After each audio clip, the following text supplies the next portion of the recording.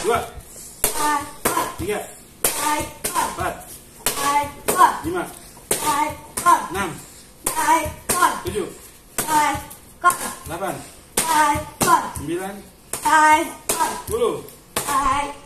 Ini.